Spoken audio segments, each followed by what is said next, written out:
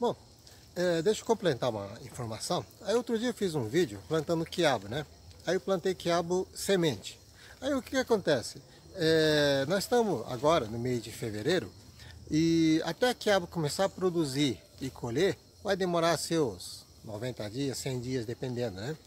É, então, o quiabo gosta de tempo relativamente quente e o sol também, né? E nesse período que nós estamos aqui, nós estamos em fevereiro, março, abril, maio, tempo já está esfriando. Então eu tenho que ganhar o máximo de tempo possível, se eu quiser colher um pouco de quiabo ainda no primeiro semestre. Né?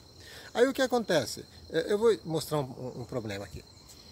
Aí eu coloquei quiabo, três sementinhas cada cova. Ó.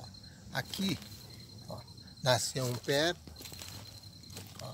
aqui nasceu dois, ali não nasceu nada, ali não nasceu nada, aqui não nasceu nada, então, resumindo, o que está acontecendo? Quando a gente planta a semente direto na terra, acontece assim, vários detalhezinhos, né? Primeiro, a semente tem que ser de boa qualidade. Então, aí já tem um problema de germinação. Quando o sol está quente, de, ah, na terra direto, quando você planta assim num vaso, é, nos copinhos, é diferente, né?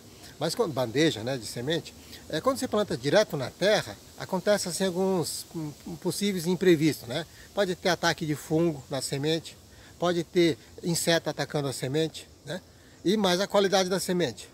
Fora isso aí, se o tempo estiver muito quente, torra a semente, porque você não pode aprofundar muito, tá? Você coloca aqui 2, 3 centímetros de profundidade, se o sol estiver muito quente, quente, quente, assim, acima de 32, 33 graus, queima a semente, se ficar exposto alguns dias, né? mesmo com a pequena cobertura, que vai esquentando a semente. Né? Se tiver friozinho, o tempo cair de repente, tem problema de germinação. Se chover direto com tempo friozinho, sem abrir, né? direto, direto, direto, chovendo, chovendo, chovendo friozinho, apodrece a semente com, com umidade. Então, quando planta semente, tem uma série de problemas. Né? Então, o bom é plantar muda. Então, o que, que eu vou ter que fazer aqui? É... Ó, eu vou tentar mostrar aqui, ó eu comprei mais, o que, que eu fiz? Como está nascendo umas mudinhas que eu plantei e uma boa parte não germinou, por não ser algum desses motivos, eu acho nesse caso que o tempo estava relativamente quente, choveu, esse dia o tempo está fechado, mas não está tão frio, acho que não apodreceu, acho que a semente com má qualidade. Mas não dá para ficar questionando essa altura do campeonato, né? O que, que eu fiz? Eu comprei muda pronta para colocar nas covas onde não germinou, justamente para completar a fileira.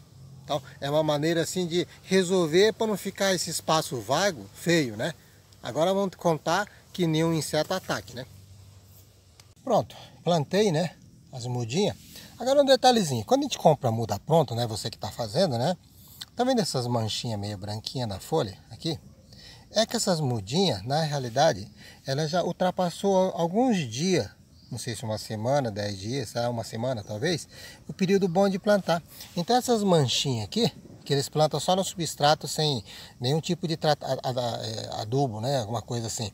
Então essas manchinhas brancas normalmente já indica que a planta está precisando de nutriente. Entendeu? Então, quer dizer, é, ela já está assim, um pouquinho maior, sendo assim, é, sustentando só com água, pode dizer, é, passando um pouquinho do período. Então, ó.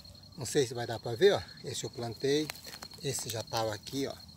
Esse eu plantei, né? E assim vai, ó. Completei, né? As covas onde estava vazio.